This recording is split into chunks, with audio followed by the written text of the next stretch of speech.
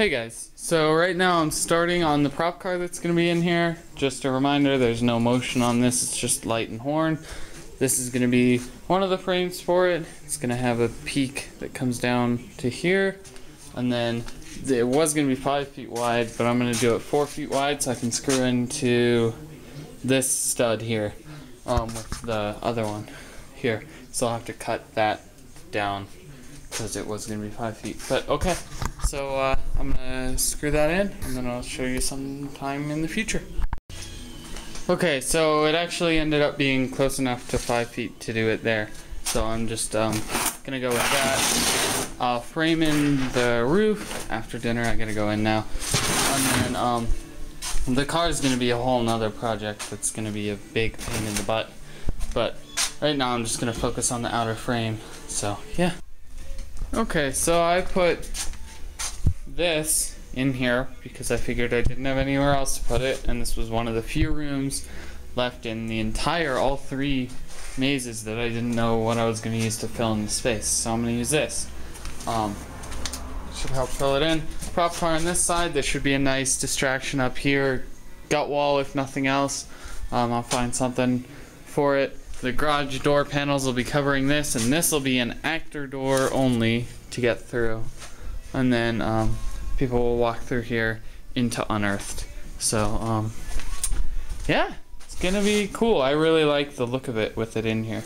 I've always liked this this piece though. So, this is what the ceiling crasher was landing on last year. So this was mounted above you last year, and in 2010 it was vertically, so flipped up on its side in the mine. So yeah, all right.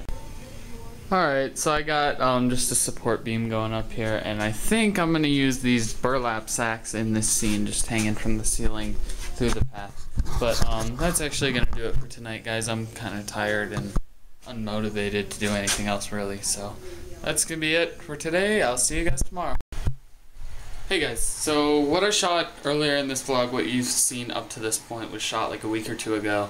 Um, I just haven't gotten around to editing it because I just got it off the camera like yesterday or something. So, um, sorry about that, but so this vlog's gonna be like two weeks late for the stuff you already saw. Um, I just wanted to say today is Friday.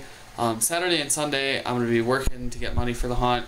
Um, Monday, which is Labor Day, uh, I'm gonna be setting up the first half of Unearthed with my buddy Court. He's coming over to help me out, so that should be fun. Um, the first half of it is only two scenes, but they're pretty big scenes.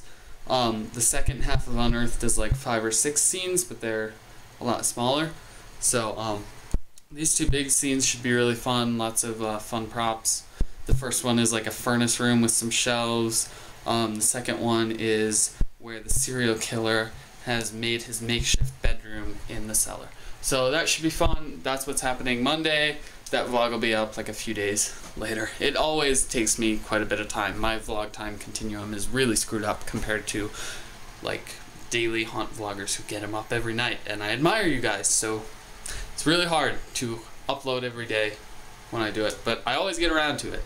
So yeah, so that's what you have to look forward this weekend, and I'll see you then.